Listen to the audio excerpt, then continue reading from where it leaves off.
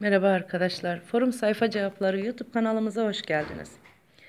Bugün sizinle 3. sınıf Fen Bilimleri ders kitabı Tuna Matbaacılık yayınları, 3. bölüm değerlendirme çalışmaları, soruları ve cevapları, sayfa 198-199'u işleyeceğiz.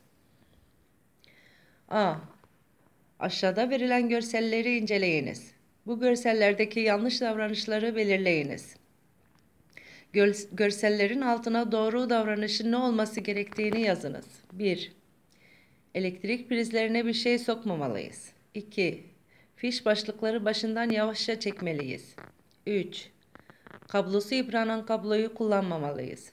4. Islakken elektrikli araçları kullanmamalıyız.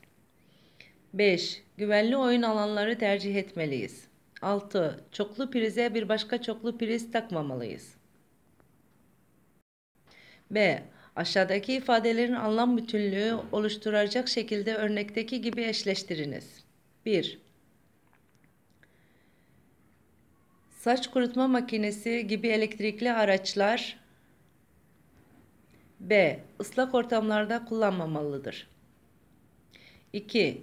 Elektrikli aracın fişi prize takılmadan önce açma kapama düğmesi, düğmesinin kapalı olmasına dikkat edilmelidir. 3.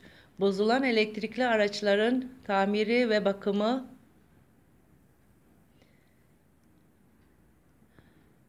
alanında uzman kişilere yaptırılmalıdır.